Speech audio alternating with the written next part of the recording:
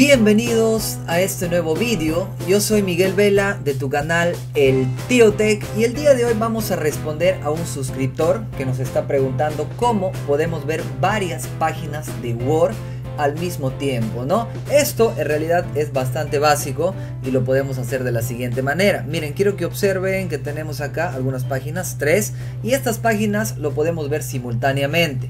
Nos vamos, miren acá, a la pestañita vista. Un clic acá, miren acá está pestañita vista.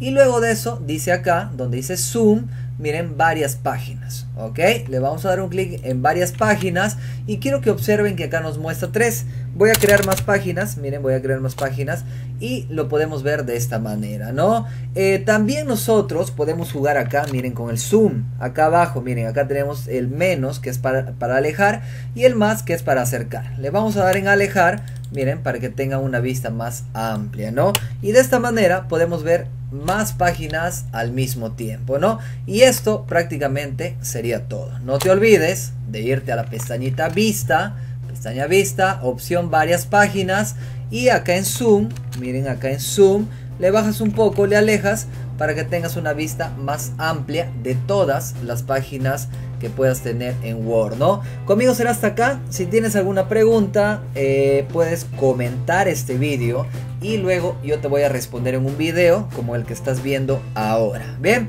eh, no te olvides de suscribirte al canal El Tío Tech. Conmigo será hasta acá y nos vemos hasta la próxima.